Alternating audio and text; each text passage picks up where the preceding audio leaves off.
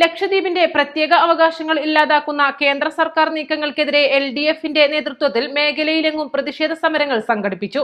Edakkara area കമ്മിറ്റിക്ക് കീഴിൽ വരുന്ന വിവിധ കേന്ദ്രങ്ങളിലാണ് പ്രതിഷേധ സംഗമങ്ങൾ നടത്തിയത്. ലക്ഷദ്വീപ് അഡ്മിനിസ്ട്രേറ്ററെ തിരിച്ചുവിളിക്കുക ദ്വീപിലെ ജനജീവിതം തകർക്കുന്നത് അവസാനിപ്പിക്കുക ദ്വീപിലെ പൈതൃകവും സംസ്കാരവും നിലനിർത്തുക എന്നീ ആവശ്യങ്ങളും ഉന്നയിച്ചായിരുന്നു സമരം. ചുങ്കത്തറ ടെലിഫോം എക്സ്ചേഞ്ചിന് മുന്നിൽ നടന്ന സമരം സി ഏരിയ കമ്മിറ്റി അംഗം എം സുകുമാരൻ ഉദ്ഘാടനം ചെയ്തു. കേരള കോൺഗ്രസ് എം നേതാവ് ജെയിംസ് കോശി അധ്യക്ഷത വഹിച്ചു. V G Jose P Bhaskaran P T Yohannan എന്നിവർ സംസാരിച്ചു.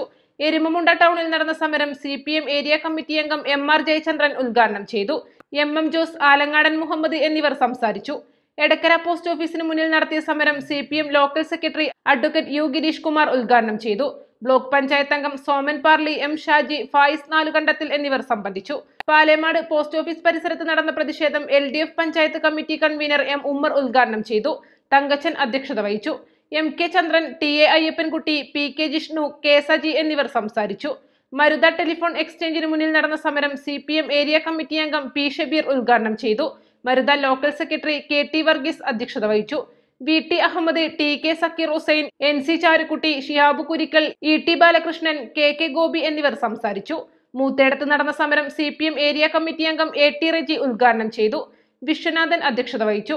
Vazhikkadavu മണിമൂളിൽ C P M area secretary T Raveendran ഉദ്ഘാടനം ചെയ്തു. ബ്ലോക്ക് പഞ്ചായത്ത് അംഗം Aneeja Sebastian M T Ali K Sharafuddeen എന്നിവർ സംസാരിച്ചു. വഴിക്കടവ് പഞ്ചായത്ത് അങ്ങാടിയിൽ സി പി ഐ നേതാവ് സി കെ മൊയ്തീൻ ഉദ്ഘാടനം ചെയ്തു. V Vinayachandran P C Nagan Chandran Poovathippozhil P G Sooraj എന്നിവർ സംസാരിച്ചു. News bureau Edakkara.